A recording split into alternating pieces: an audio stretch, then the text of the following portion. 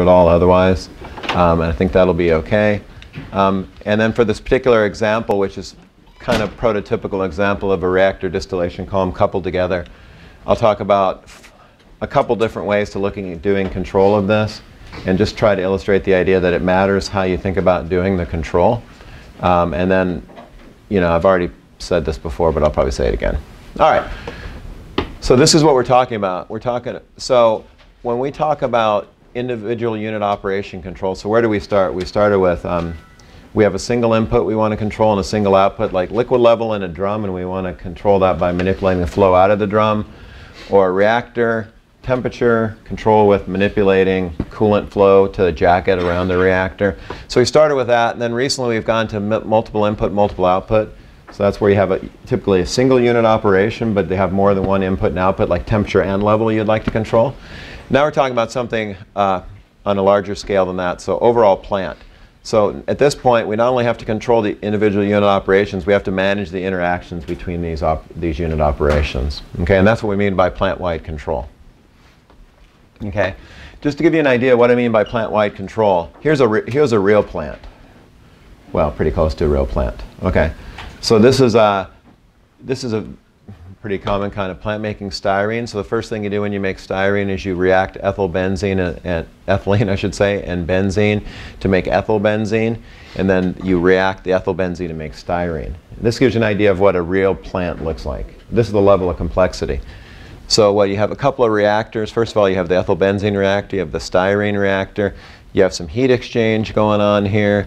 You've got um, many, many columns. I counted them before I came, but I don't remember now. But you can see there's like 10 different columns doing different things. A lot of recycle of material and energy. It's complex. That's the, you're not supposed to understand the details of this, but we are supposed to try to understand. This is way beyond the complexity we talked about in the class, right? But if you went into a plant, this is the kind of thing you would be dealing with. And it would be common if you're a process engineer or control engineer, they would take this plant and split it up into a couple of sections. And they would have a control engineer and a process engineer for each section. So they might have one for the ethylbenzene part of the plant and then for the styrene part of the plant. But the main thing, complexity is a lot more than what we talked about so far. Okay. So when we talk about doing plant-wide control, what distinguishes it in some ways. You have a lot of unit operations, yeah, but they're not all individual, right? If, if it was nothing but a column and a reactor and a heat exchanger and they had no effect on each other, it would be trivial. We just do the same thing we always do. But the thing is they're integrated together, usually through recycle of mass and energy. And hopefully you learned in process design that recycling mass and energy are integrating, doing mass integration. You guys do like heat exchanger networks? Okay. Why do you do that? Because it saves money, right? Um, sounds great. And it, from a steady state economic perspective, it is great, but it produces much more difficult control problems because if you integrate heat and mass, a, a, disturbance in one unit can propagate to a disturbance in another unit. Okay, so it makes the control problem uh, more difficult, and I'll point out, I'll illustrate this later, it can lead to some kind of unexpected things. Okay? All right. So in reality, when one does design which I'll mention at the end, you should think about doing control at the same time. So in other words, it can be a situation where you have a design that looks really good at steady state for economics, but it might be really bad for control. Okay? And if you can't operate a plant, it makes a little difference if it makes money at steady state. Okay? If you can't start up the plant and operate it dynamically, it's not going to matter. And I think I mentioned somewhere in the uh, my favorite example is DuPont, I don't remember where, they built a $200 million plant. They never were able to start it up. They just gave up after a while, just abandoned $200 million of capital. Okay? So dynamics and control matter. All right? So we already went through this. Complex. Okay. Um, so in some sense, these slides are a series of different small stories, or at least the few, first few are. So one of the main things you want to do in a plant is control production. Okay, so if you're making a product, um, unless it's the, you know, if it's an incredibly high value pharmaceutical, then maybe the actual production is not the key thing. The quality is. But for the most part, if you're making ethylene, everyone makes the same ethylene. It doesn't, there's not a big difference in ethylene from here or there. And the main thing you're trying to do is get a certain quality of you know, purity, let's say, but you want to control the production rate. So there's two ways to do this. You could control the production rate at the end of the plant, like the outlet of the last unit, I, that's pretty unusual, according to me. Usually you set the production rate like this. So if you had a, let's say this is a reactor, these are just meant to be different units. They all look like stirred tanks, but whatever. What you're going to do to control production is you're going to meter in the ingredients into the reactor typically. And you're going to meter in the amount of ingredients you need to get a certain production rate. And that's how you're going to set the production rate coming out. You're going to set the production rate at the front, not the back. Okay, and then you'll control inventories in each unit operation like shown here. Okay, so this is the normal way you would do it. Uh, we talked about this, so this is nothing but review. But um, you remember, we're going to talk a little bit about plant-wide control in the sense of heat and mass integration. So you may recall this exact slide I presented. I just copied and pasted it, um, uh, associated with heat integration. So this was an example, which I won't go over. I'll just go over this one here. But this was for um, a heat exchanger in a reactor where you recycle the um, outlet effluent because it's hot to actually heat up the exchanger. Right, so this is no integration here, but this is heat integration of the reactor to the exchanger. And I guess I will talk about it because here I go. Okay. um, so this is great, right? Because this will save, now you don't need, you don't need to heat up fluid here to, to uh, heat up the feed for the reactor. You can use the outlet of the reactor to do the heating. And that looks great from an economic perspective because you don't have to, you save energy right here but it does create, we know the exchanger affects the reactor. We want it to, right? Because we want to heat up the feed. But now the reactor affects the exchanger, and you can imagine something bad could happen here. You might heat up, you get the uh, reactor effluent, you heat up, it gets hotter, more reaction, hotter, more reaction. Might, might actually even go unstable. You know, unstable in MATLAB means the line goes to infinity. unstable in a plant means plant explodes or plant goes on, goes on fire, okay, or something like this. It's not good. All right. So here's one that you should appreciate. I guess you guys are doing a design project. I would assume that it involves a reactor and distillation columns. They always do. Um, and one of the things they probably encourage you to do is come up with a design that makes as much money as possible. And in an effort to do that, you would want to do things like I'm going to do here. Right? So for example, we're going to talk more about this later, but I assume that when you do your design, your plant design, one of the things you do is, is separate, do a separation and maybe take reactants that aren't reacted and recycle them back to the reactor so you get higher yields, right? That's mass integration. And this is heat integration, which again we talked about. So here we have two columns, effluent, overhead product, not product, overhead stream here goes as the feed to the second column. Um, and so the idea here is that instead of running it like this, we could do the following. You could take the overhead um, here, okay? And so you have, so what do you have? When you have the overhead here, part of it goes into this column as feed, part goes back as reflux to the first column. But for the reflux stream, instead of um, cooling it here and then separately heating this, you can use the heat that's in this stream to heat up the reboiler of the second column. Obviously this column's at a higher temperature than this column. Um, and then you can use that as reflux. So you eliminate the need to cool there and you, eliminate the need to heat there. Right? So you save utilities. Um, but now you're going to have a more difficult control problem because not only does this column affect this column, but now this column affects this column because of the exchanger here. Okay? So it's a, it's a trade-off. So you shouldn't be fooled when whoever is teaching you design, I know it's Lacus, um, will tell you, you know, this, this is a panacea for energy savings, right? Heat and mass integration, because it, when you actually come to operating a plant, it will make plant control more difficult. You still do it. I'm not saying you don't do it, but you have to be careful about how you do it. All right, well, this is probably the most rudimentary slide in the history of mankind. Um, it says, guess what? You should recycle material. So this is just a toy example. So you got a couple of reactors in series here. You have an effluent from the, this reactor going into a flash drum. This is pretty common. So the idea is that the reactants are lighter, you know what I mean, like they're more volatile than the products. So you put it in a flash drum and then you'll do a VLE, you know, like a single stage separation here. The heavier things are the products. They'll accumulate in the liquid phase. You collect that as your product stream and then probably separate it. Um, And then in the overhead, because it's more volatile, you get a reactant-rich stream, and you'll recycle that to the reactor. I mean, I assuming you guys do this as part of, you should be doing this part of the design, unless you have really high yields.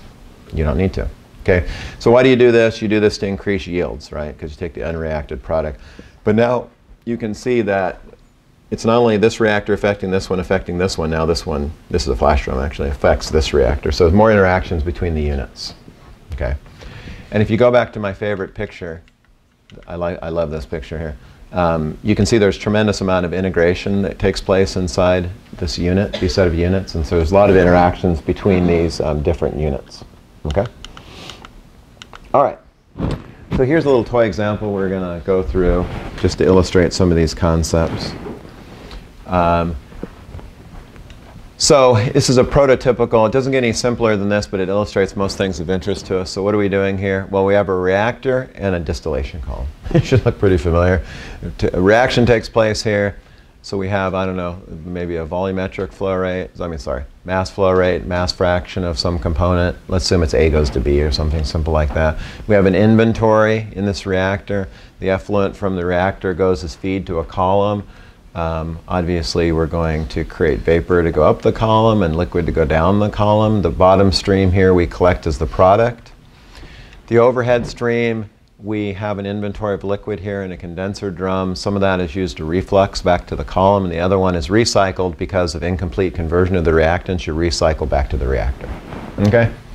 All right. So, nothing too surprising about that. I, hey, I remember I said the reaction, maybe it's something like A goes to B. It's exactly A goes to B. All right? All right, so I already said all these things. So here's what you'd probably, or one reasonable thing you would want to do. So if you look at this system and you say, what's the objective of this plant? Well, my assumption is the reactant, this, the objective of this plant is to make B, whatever B is, okay? And what are we interested in terms of product quality? Probably the composition of this stream here, right? So we want to produce B at high purity. So, so we're interested in this. So this is the thing you want to control most likely. The main thing you want to control at least is um, composition of B here. And in this scenario, we're assuming, which is, this would be a little bit atypical actually, but it's for the sake of illustration, that the flow rate of the feed to the reactor and the composition of the feed to the reactor are potential disturbances. Um, in most plants, you try to control pretty tightly what goes into the reactors. But you might imagine that, you know how chem plants work, or at least I hope you do. All the materials from chem plants come from refineries, right? So if you're, if you're smart and you're like ExxonMobil and you own both refineries and chem plants, that's the best way to make money. You don't want to do just refining, because if oil is cheap, if oil's cheap, then you don't make money. But if oil's cheap, then you have cheap raw materials to make chemicals. You see, so that's how ExxonMobil rolls at all times. They make a lot of money if oil is expensive refining, and if oil's cheap, they make a lot of money making chemicals. Okay, and that's why companies like Dow and DuPont, eh, not as good.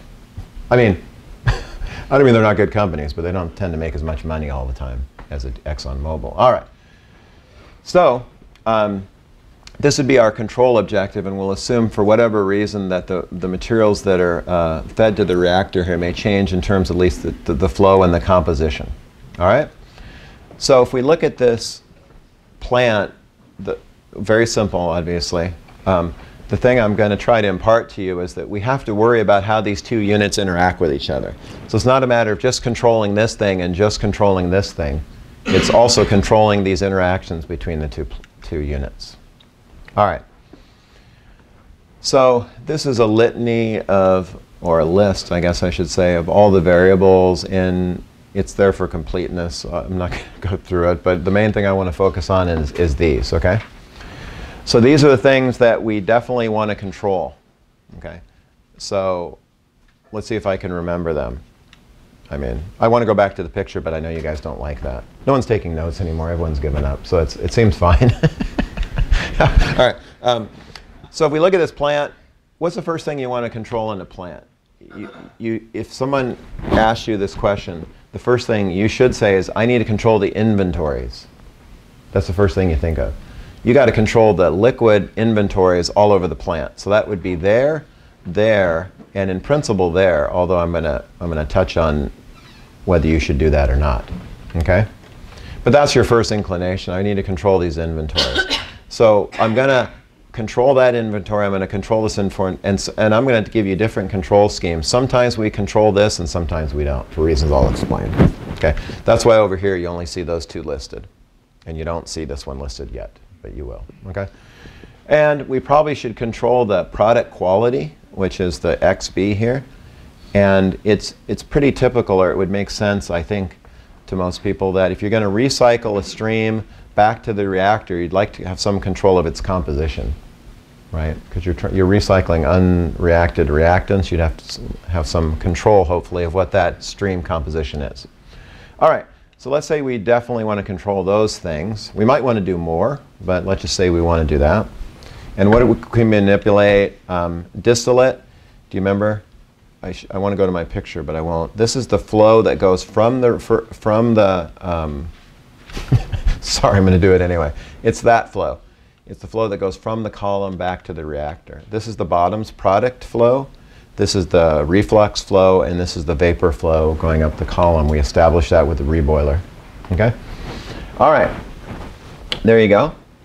Um, and we have a couple of disturbances which I already defined. And then I, I have what is called remaining variables. These are things we might want to consider controlling for reasons I'll explain. Inventory in the reactor this flow is the flow from the reactor to the column, and that's the composition that goes from the reactor to the column.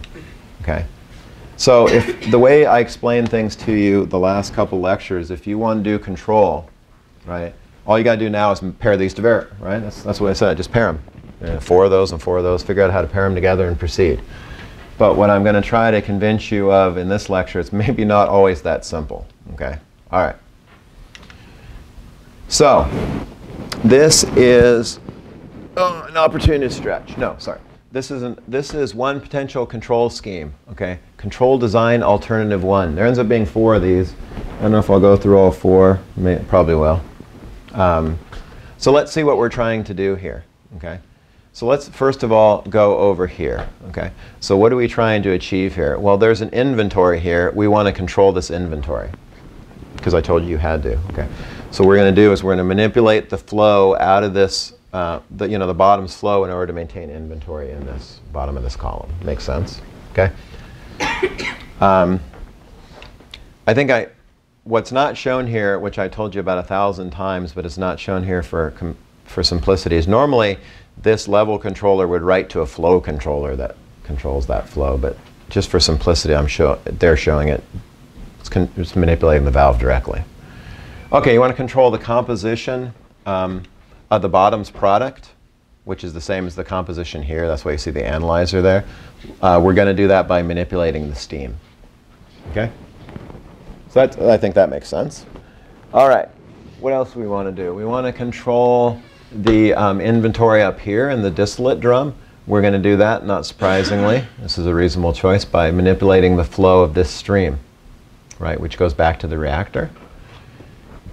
And then we want to control, um, this is the XD that we want to control. So we want to control the composition of the stream. That's both the reflux stream and the stream going to the reactor, back to the reactor. And we're going to do this by uh, manipulating the reflux flow. Okay? So there's one controller, two controllers, three controllers, four controllers.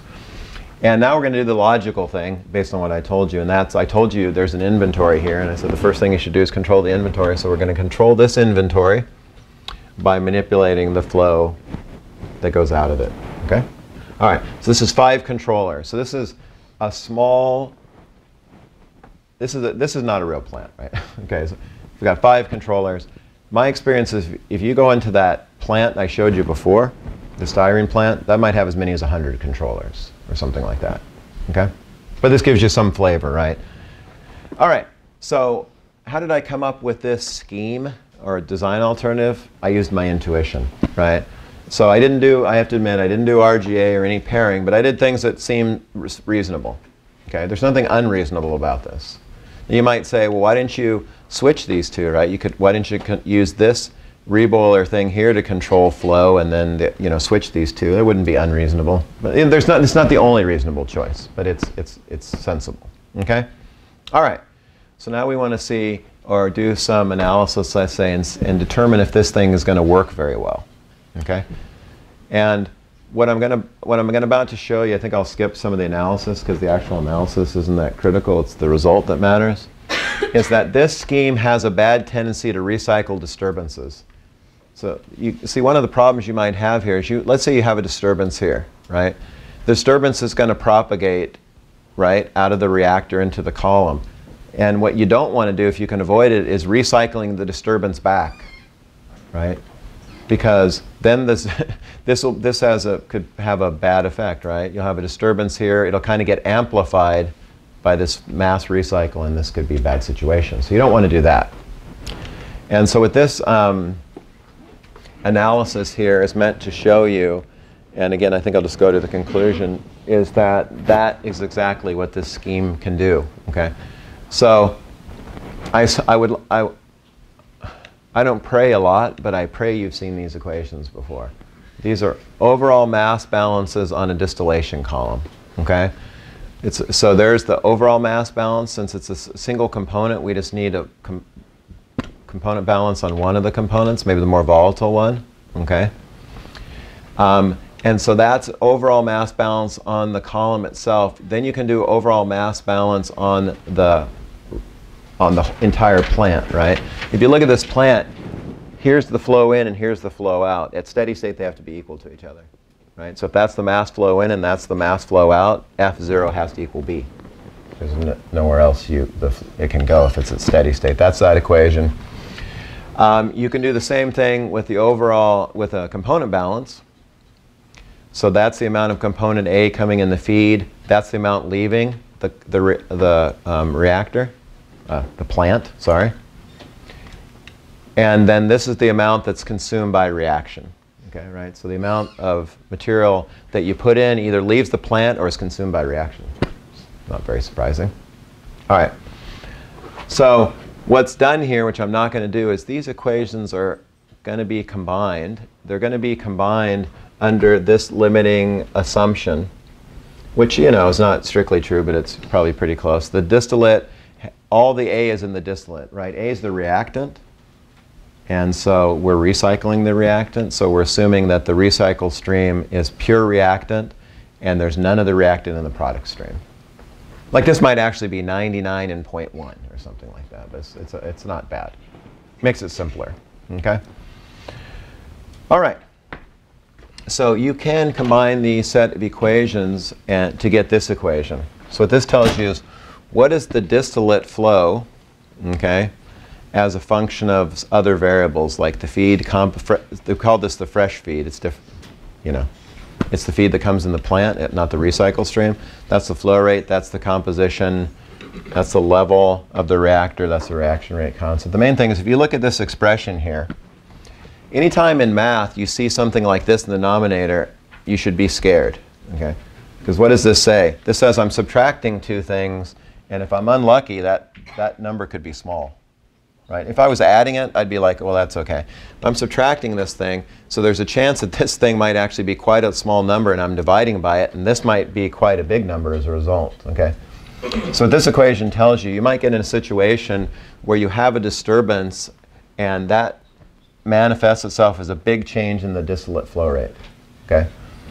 Um, so in other words, a disturbance comes in here, maybe a fairly small disturbance, and your controller generates, ends up generating your control system a, a large change in distillate flow. That's unsettling, you know, to an operator. Like, I see that this changed 10%, the distillate flow changed 300%. What's happening? And your answer would be, Bob, I fear it's the snowball effect.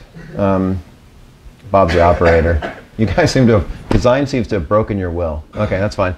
Um, so this thing, I think, I don't know who named this, the snowball effect. You know, you get the idea, right? You see in the, roll a snowball down a hill, gets bigger and bigger and bigger. So this is what this means. Disturbance gets recycled around this thing, gets bigger and bigger and bigger. So, so what is this supposed to communicate to you? It's supposed to communicate, even though you have a very sensible design, I'm hoping this looks sensible to you. Um, it's actually not a very good, it ends up not being a very good idea. Why? Because these interactions of these two units, in particular, the recycle of mass coming from the column back to the reactor. Okay, so we should try doing something different. And one different is this thing, design alternative number two. Okay, so let's see what we're doing different here. Um, there's no difference here. Manipulate bottoms flow to control level, manipulate vapor to control composition, um, this is the same, I think. Manipulate um, reflux to control composition uh, up the overhead circuit. Um, is that the same? Sorry, I can't remember everything. It's the same. Okay. We're still going to use the distillate flow, the recycle flow back to the reactor to control the level. The difference here is, you know what we did before is we manipulated this flow to control the level. That's what the old, right? Sorry, I have to keep flipping. But no one's going to draw this picture. Give me a break. All right. So here's what we did before. We used this valve to control the level in this, in this reactor. Now we're going to use this valve to control the flow here, not the level. Okay? Why? Because we think this might solve our problem, right? Because we identify that we might be recycling disturbances, and we think perhaps controlling the inventory here is the problem. Okay? So we try this right? All right, so we try this scheme, and then we come up with the same kind of analysis I showed you on the previous page, and then we end up generating something like this. You know this tells you? You've got problems here, maybe. Okay? Right, F0 is the fresh feed, F is the flow here. You have 1 over F0 minus 1 over F. This thing, those could be close again. So that means that this thing could become small and that means HR could become large. So that means now you have a disturbance. Remember before we said, oh no, we'll have a disturbance here and that'll cause a big change in the distillate flow, that'll be bad. Now you fix that problem, now you have a new problem. Now change, disturbance here might change a huge, make a huge change in the level.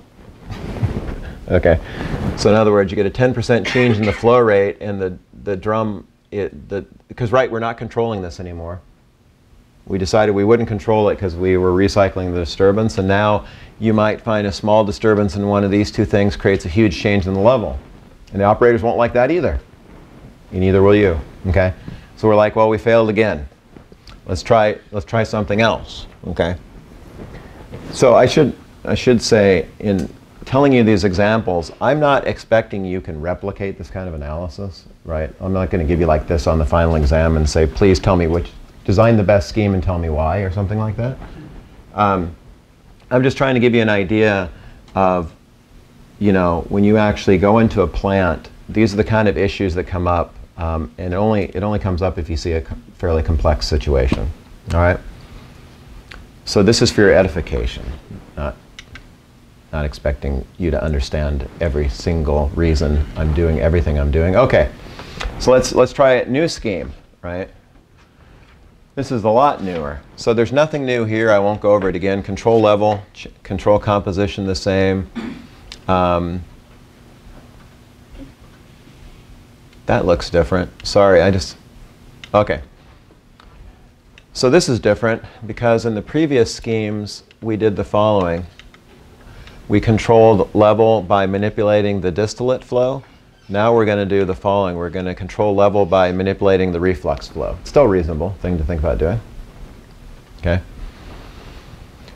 All right, now what are we doing? Now we're going to have these two kind of more complex control configurations, right?